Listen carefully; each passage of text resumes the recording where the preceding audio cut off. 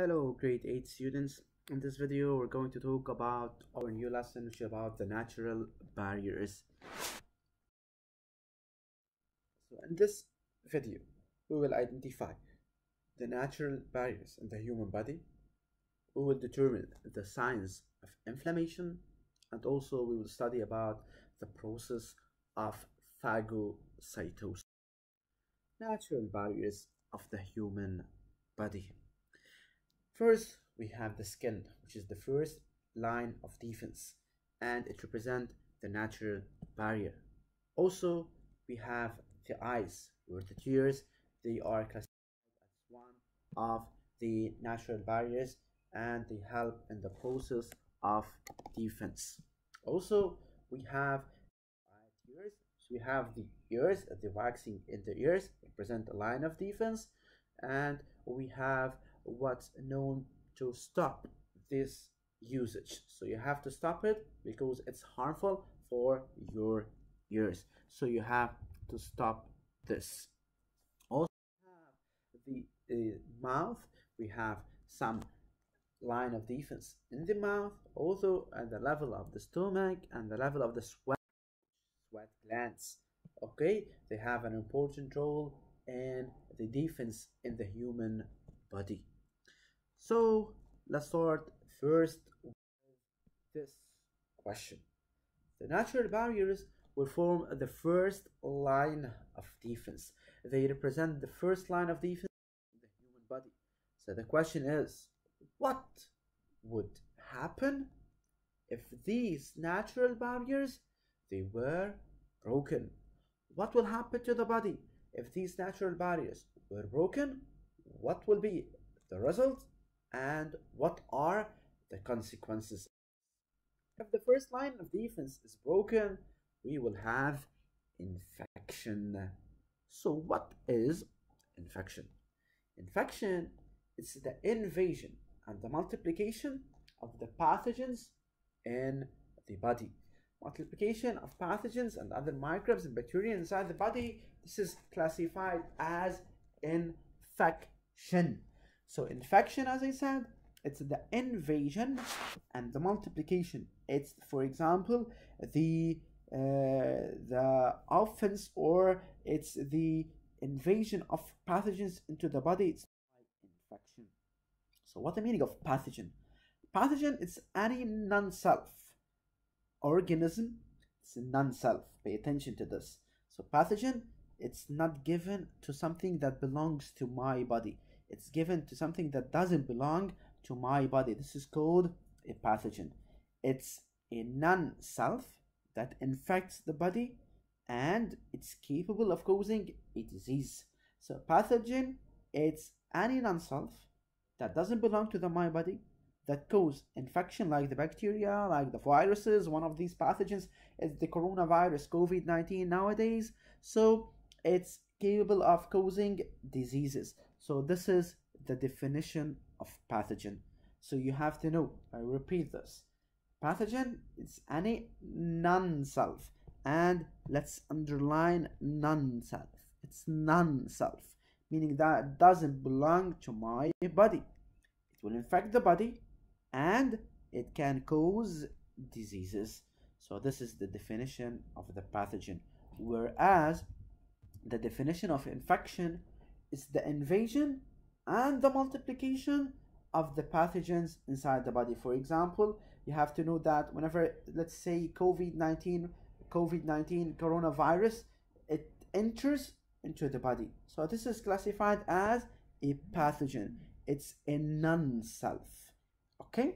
It's non-self that infect the body and capable of causing a disease. While infection this is, for example, the COVID-19 virus. It invades my body, multiplicates, and causes disease. So this is called infection. Inflammatory response. What is an inflammatory response? Definition of inflammation. Inflammation is the immune response against an infection. It is usually the second line of defense in our body. So inflammation it's the immune response against infection. It's the second line of defense inside our body.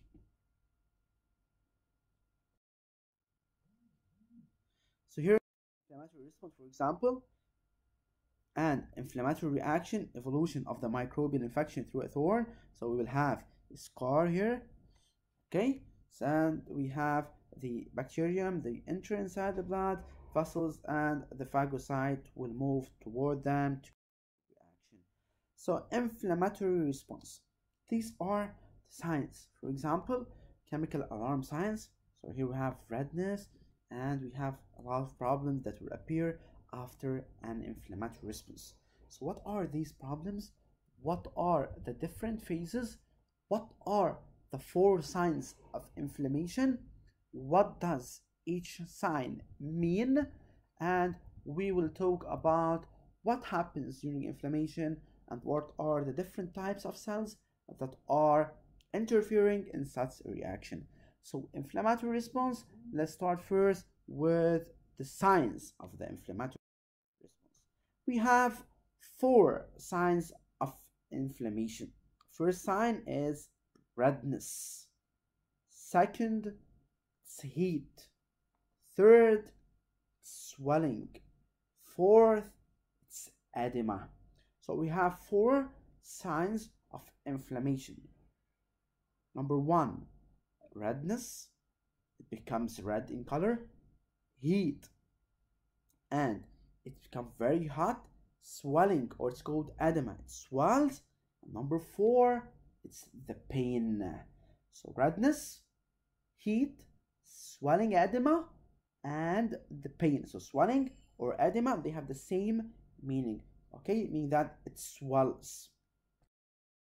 Let's talk about the first sign of inflammation. The first sign of inflammation is called redness. Redness is due to the dilation of the blood vessels and the flow of more blood to the site of infection.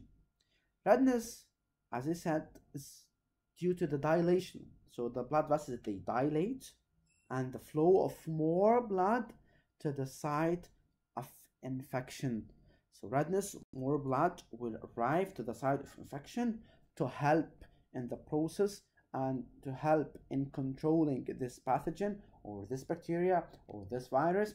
And this is because we have redness. So more blood will move toward the site of infection and the blood vessels will dilate. Second sign, which is the heat. What is the cause of the heat?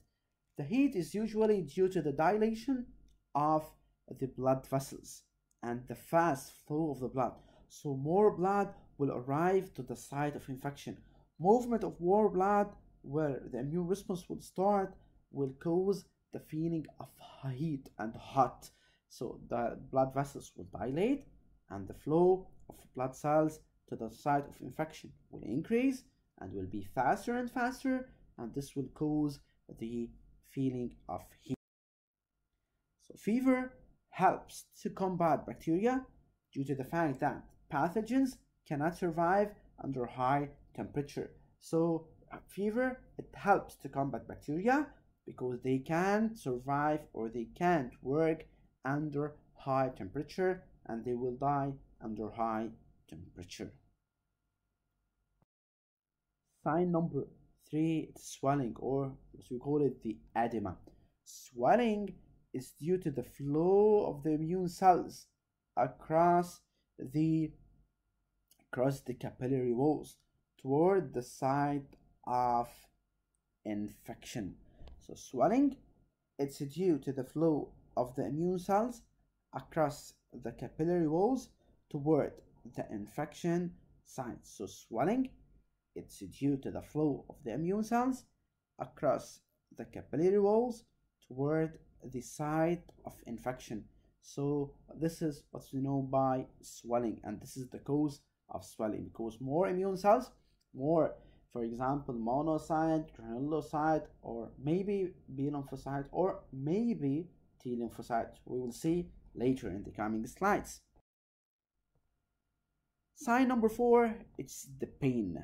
Pain is usually due to the swelling that creates a pressure on the nerve cell in the surrounding of the infection site. So pain, we have swelling.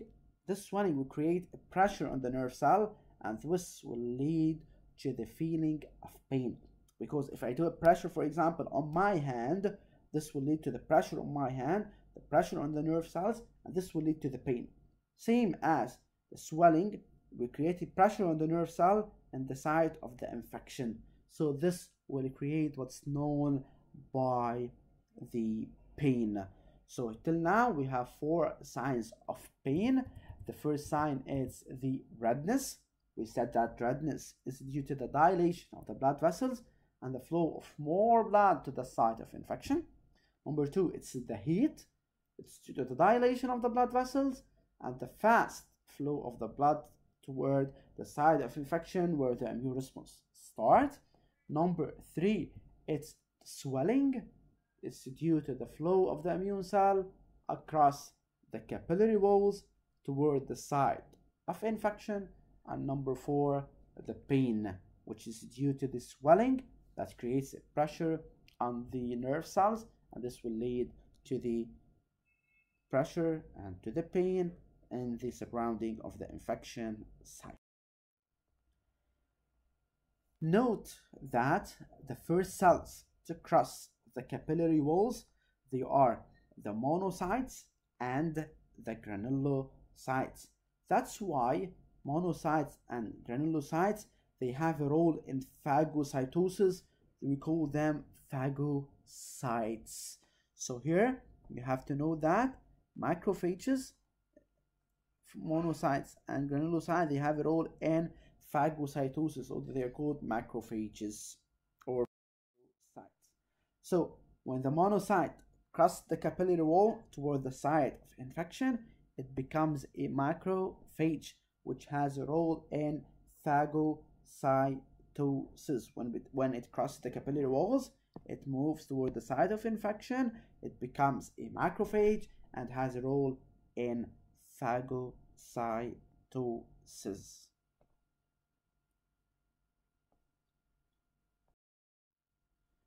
So here the tissue injury where the bacteria will enter and whenever it enters here we have phagocytes they migrate.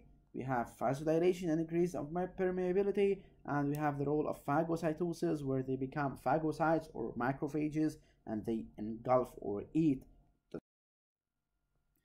characteristics of inflammation. We have instantaneous or we have non-specific. Inflammation is instantaneous. What the meaning of instantaneous? Meaning that it starts immediately so start inflammation it's instantaneous meaning that it starts immediately while the non-specific meaning that it doesn't depend on the identity of the pathogen meaning that it kills whatever it's non-self so it's non-self it doesn't depend on the identity whether it is so it moves toward it and will kill it so it's non-specific. here we have the signs for example steps of the inflammatory response where we have a pin or a wound injury through the skin. So bacteria pass the skin. Whenever it passes through the skin we'll have the damaged tissues called cause the phagocytes to come. Number two the phagocytes which are the macrophages and the granulocytes they cross the capillary wall. Number three the phagocytes engulf the bacteria by the process which is phagocytosis. We're going to go to talk about this. And number four, the platelets will close the injury. If you remember that platelets, they have a role in clotting of the injury. If you remember, whenever we talk about the blood component. So here, the macrophage, while ingesting the bacteria step by step, the macrophage will extend forward to capture the bacteria. The bacteria they are captured and they are trapped in the, by the macrophage membrane. The bacteria which are trapped, they are absorbed one by one and digested. So here the macrophage which is yellow in color, it's digesting the bacteria that are blue in color.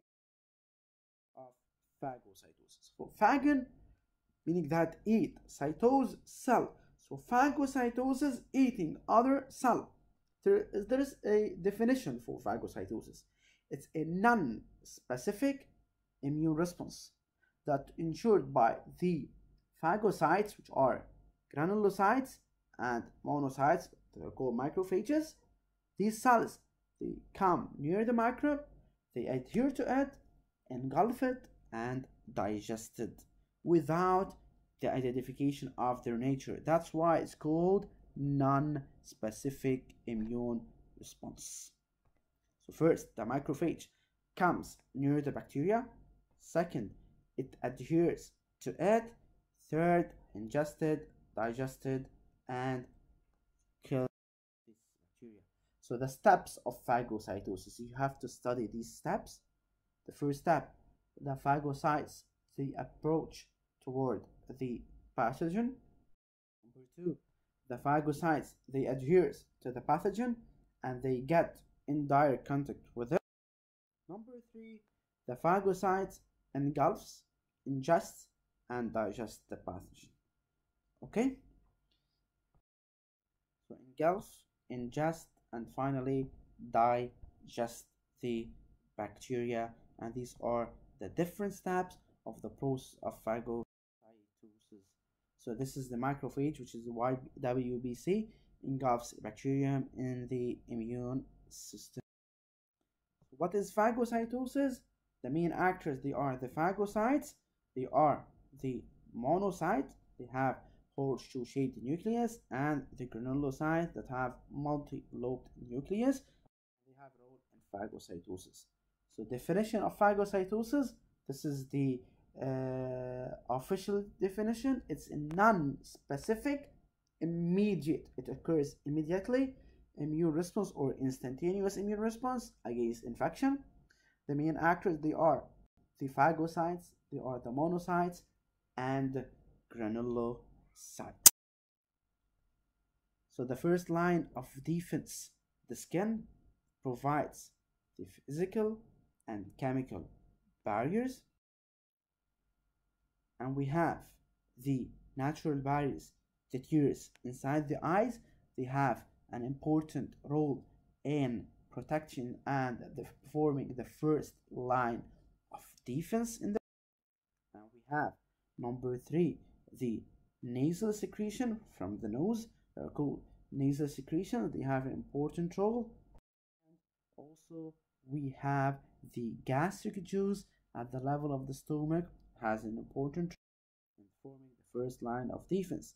So the natural barriers, they represent the tears in the eyes, the nasal secretions, the skin, the urinary system, the mucus, also the ciliated cells that have cilia. Cilia is like hair-like structure and they can move. And also we can talk about the gastric juice.